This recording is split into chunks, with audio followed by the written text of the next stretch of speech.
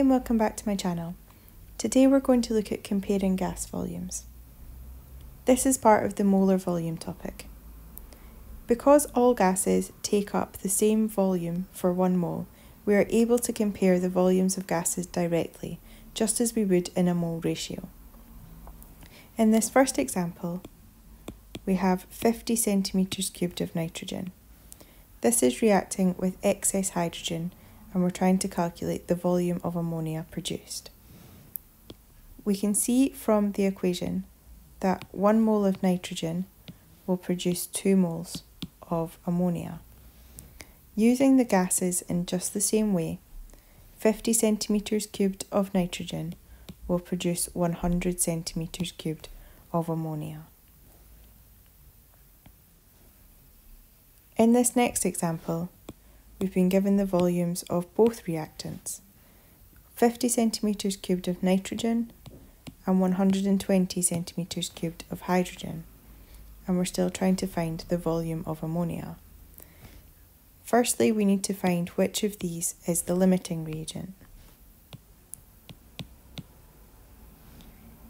If we take the 50 centimetres cubed of nitrogen, we need to have 150 centimetres cubed of hydrogen. We can see from the information we don't have this much. If we start from the 120 centimetres cubed of hydrogen, we would need 40 centimetres cubed of nitrogen, which we do have. One mole of nitrogen will produce two moles of ammonia. We know now that only 40 centimetres cubed of nitrogen will react which will produce 80 centimetres cubed of ammonia. In this example, we've been given 30 centimetres cubed of nitrogen, 100 centimetres cubed of hydrogen, and we're trying to find the total volume and composition of gas. This means we need to include any excess re reactants that we have that are in the gaseous state. So first let's find the limiting reagent. We take the mole ratio between the reactants. If we start from the 30 centimetres cubed of nitrogen, this would require 90 centimetres cubed of hydrogen, which we do have. We can now calculate the excess hydrogen. We start with 100 centimetres cubed, 90 of which reacts. This means that at the end of the reaction, we will have 10 centimetres cubed of hydrogen left over. Now let's turn to the products. 1 mole of nitrogen produces 2 moles of ammonia. All of the 30 centimetres cubed of nitrogen will react and produce 60 centimetres cubed of ammonia. This means we can now work out our total volume of gas.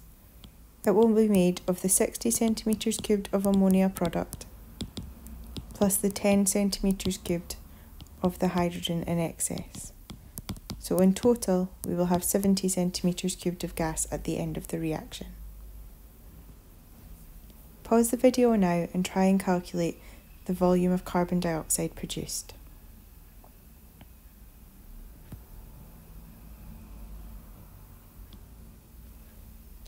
So in this reaction we have 100 centimetres cubed of methane and 300 centimetres cubed of oxygen and we're trying to calculate the volume of carbon dioxide.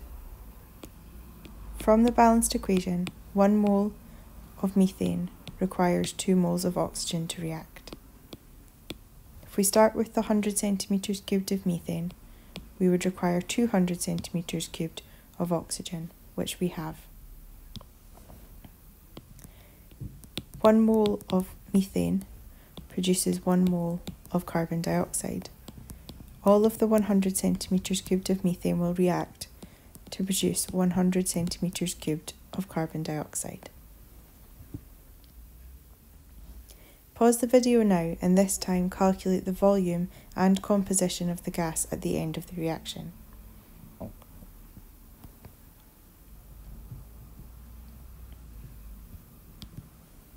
In this reaction, we have 500 centimetres cubed of propane and 2 litres or 2000 centimetres cubed of oxygen.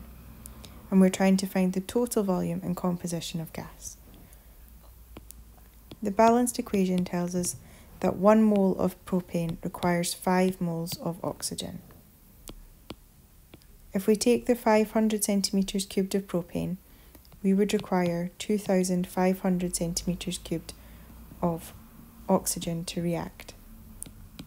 We only have 2000 centimetres cubed.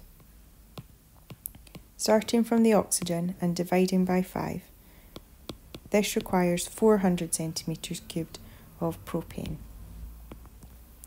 This allows us to calculate the excess propane that we will have at the end of the reaction. We start with 500 centimetres cubed and 400 of this is used in the reaction. This means at the end of the reaction we will have 100 centimetres cubed left over. 1 mole of propane produces 3 moles of carbon dioxide we know that only 400 centimetres cubed of propane will react, and we'll get 3 times 400, 1200 centimetres cubed of carbon dioxide at the end of the reaction. Our total volume and composition will be 1200 centimetres cubed of carbon dioxide plus 100 centimetres cubed of propane giving us a total volume of gas at the end of the reaction of 1300 centimetres cubed. Pause the video now and try this last example.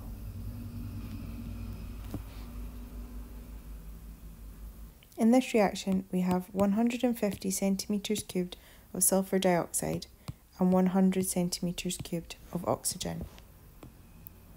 2 moles of sulfur dioxide requires 1 mole of oxygen to react. That means that 150 centimetres cubed of sulfur dioxide requires 75 centimetres cubed of oxygen, which we have present. We can now calculate the excess oxygen. We start with 100, 75 of which reacts, leaving 25 centimetres cubed of excess oxygen. 2 moles of sulfur dioxide produces 2 moles of sulfur trioxide. All of the 150 centimeters cubed of sulfur dioxide will react to produce 150 centimeters cubed of sulfur trioxide.